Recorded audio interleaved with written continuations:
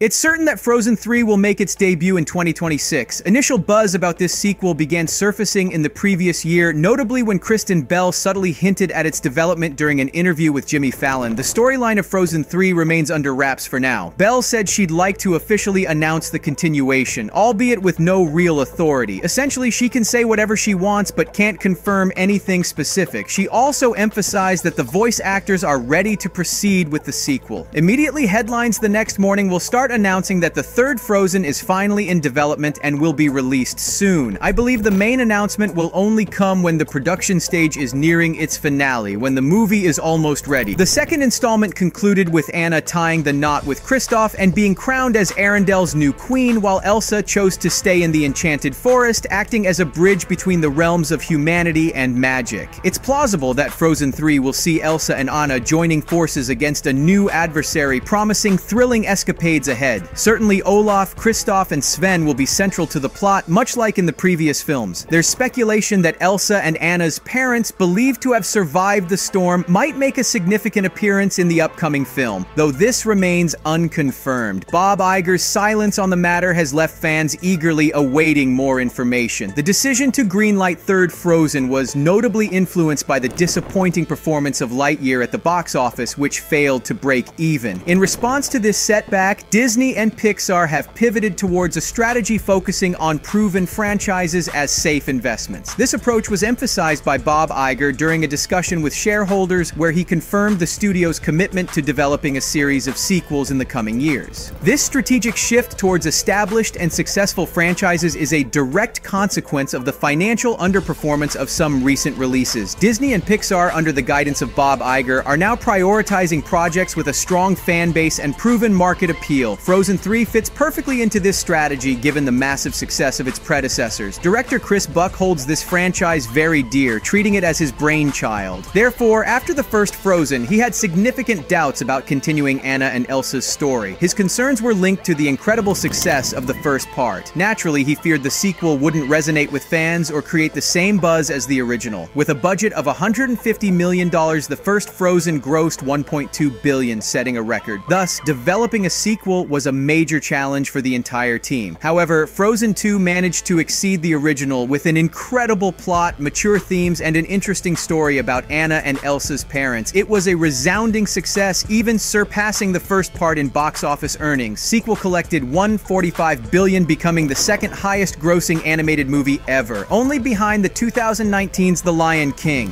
The anticipation surrounding the third installment is palpable among the fan community, which has been eagerly dissecting every hint hint and rumor about the plot and character developments. The focus on sequels also represents a broader industry trend where major studios are leaning towards safe bets to ensure box office success. This approach, while financially prudent, has sparked discussions about the balance between creative originality and commercial viability in major film productions. Fans and critics alike are watching closely to see how this strategy will influence the quality and innovation of upcoming movies, including Frozen 3. For Disney and Pixar, the stakes are high. They not only have to deliver a film that lives up to the high expectations set by two Frozens, but they also need to ensure that it resonates with both longtime fans and new audiences. The success of third movie could set the tone for future projects under the Disney banner and potentially influence the studio's direction in the coming years. As the release date approaches, all eyes will be on how this beloved franchise evolves and whether it can continue to captivate viewers with its magical blend of storytelling, music, and animation. As the anticipation for Frozen 3 continues to build, fans are eagerly collecting every piece of news news and theory surrounding the upcoming film. The secrecy shrouding its plot has only fueled more speculation and excitement. One of the most intriguing rumors is the possible return of Elsa and Anna's parents, who are believed to have survived the storm. This theory has sparked numerous fan theories about how their return could impact the storyline and the character's development. Elsa's decision to stay in the forest at the end of Frozen 2 suggests her role as a guardian or mediator between the magical and human worlds might be further explored in a threequel. Also, fans are excited to see how Anna Anna's role as the Queen of Arendelle will evolve. There's speculation about potential challenges she might face in her leadership, possibly even from within the kingdom. Anna has become the Queen of Arendelle, and Elsa has taken on the role of ruler of the Enchanted Forest, suggesting the sisters will now live separate lives. This separation raises doubts, considering their combined strength was crucial in overcoming dark forces in the past. Let's figure out where Frozen 3 might go in terms of adventure. I think there will be another time jump between the end of Frozen and the beginning beginning of Frozen 2, three years passed. The events of these three years were shown in shorts and mini-stories. However, despite the diverse plot of the second part, Arendelle received much attention. So the first thing that might happen in the sequel is the introduction of new locations. The first part focused a lot on Arendelle, so I think now the authors will want to pay more attention to other locations, as they did with the mysterious forest in the second part, where we saw many wonders. Also, let's not forget that Frozen is the calling card of new Disney animations. It's one of the most beautiful movies even now, with its landscapes, detailed object design, quality textures of clothing and surroundings, all primarily meant to impress the viewer. Such meticulous work isn't found in any other animated film, so it's in the author's interest to create strong emotions among fans by showcasing the graphic component. The main line of development for the sequel could be Elsa. Now that she has given the throne to her sister Anna, who married Kristoff, Elsa has become free. In both the first and second parts, she devoted much attention to looking after Anna and was very responsible for everyone. Now, she's completely free and perhaps we'll see her first love interest. She can finally live for herself and find her significant other. Also, after the release of the second part, there were rumors that Elsa might become Disney's first lesbian princess. Observing her interactions with a girl from the Northuldra tribe, journalists began to speculate that Elsa might have a female partner instead of a male one. Honestly, considering Disney's current stance, such a possibility exists. The most important thing to know is that in the third part, the authors will not stray from the elements and magic that connected the first and second parts. We can expect to see many episodes focused on the magic of the elements. The second part interestingly showed the intertwining abilities of Elsa and Anna's mother, and the first part showcased Elsa's capabilities for a long time. I'm confident that we can expect something similar in the third part. When can we expect the third part? Discussing the initial script ideas, we can already speculate when Frozen 3 might be released. Considering that there were six years between the first and second parts, it's clear that Frozen is a long-term project for the studio. The development is also affected by pandemics, which have caused significant financial losses, but one way or another, the voice actors have let us know that we should expect a sequel, though when it will be is still a matter of guesswork.